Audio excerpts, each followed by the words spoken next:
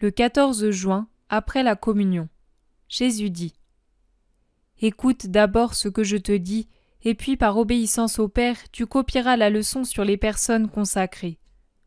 Sais-tu pourquoi, Maria, les choses qui sont éclairées pour toi sont réservées à toi seule Parce que tu ne t'es pas contenté de suivre Jésus jusqu'au cénacle, mais tu es entré à la suite de ton époux de douleur jusqu'à la chambre des tortures.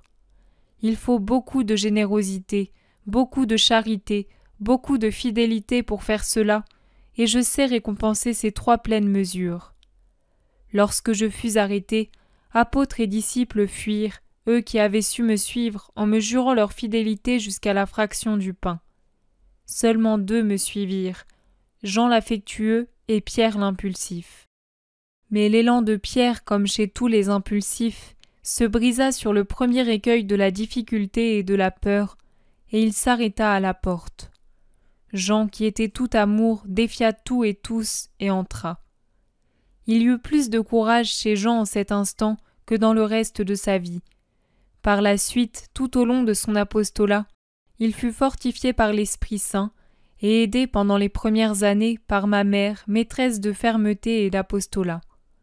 En outre, il avait été confirmé dans la foi par ma résurrection, par les premiers miracles, par le fait qu'il voyait ma doctrine se propager de plus en plus. Mais cette nuit-là, il était seul. Il avait contre lui une foule déchaînée. Satan soufflait ses doutes pour entraîner les autres, surtout les fidèles, dans le doute qui est le premier pas vers le désaveu. Il avait contre lui la lâcheté de sa chair qui flairait le danger où se trouvait le maître et sentait que ce même danger débordait sur ses disciples. Mais Jean, amour et pureté, resta et entra à la suite de son maître, de son époux, de son roi. Roi de douleur, époux de douleur, maître de douleur. Aussi longtemps qu'une âme n'accepte pas d'être admise dans le secret de la douleur que moi le Christ ai goûté jusqu'au fond, elle ne peut avoir la prétention de connaître ma doctrine à fond, ni d'avoir des lumières supérieures aux lueurs qui sont accordées à tout le monde. Des rayons d'une lumière spéciale se dégagent de mon front couronné d'épines, de mes mains transpercées, de mes pieds troués, de ma poitrine déchirée. Mais ils vont à ceux dont l'esprit se fixe sur mes plaies et sur ma douleur, et qui trouvent la douleur et les plaies plus belles que toute autre chose créée. La stigmatisation n'est pas toujours sanglante mais chaque âme qui m'aime au point de me suivre dans la torture et dans la mort, laquelle est vie, porte mes stigmates dans son cœur, dans son esprit. Mes rayons sont des armes qui blessent et des lumières qui éclairent. Ils sont une grâce qui entre et vivifie. Ils sont une grâce qui instruit et élève. Par bienveillance, je donne à tous, mais je donne infiniment à ceux qui se donnent à moi totalement. Et tu peux croire que si en vérité les œuvres des justes sont inscrites dans le grand livre qui sera ouvert au dernier jour.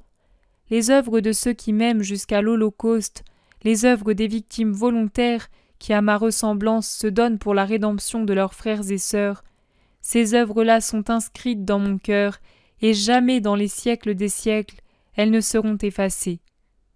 Par ailleurs, il est naturel que tu ne puisses expliquer comment il arrive que des choses particulières, réservées à toi seul, sois bien éclairé. N'essaie même pas de l'expliquer. Tu dirais beaucoup de mots et tu ne dirais rien. Ce sont des choses qu'on accepte et qu'on n'explique pas, même pas à soi-même. On les accepte avec la simplicité d'un enfant, la simplicité d'une colombe. On donne au prochain ce que le bon Jésus nous dit de lui donner, et on garde pour soi le reste, tel de précieuses marguerites enfermées dans son cœur, en cherchant à en mériter beaucoup d'autres par une vie qui baigne dans la charité, la fidélité, la générosité, la pureté.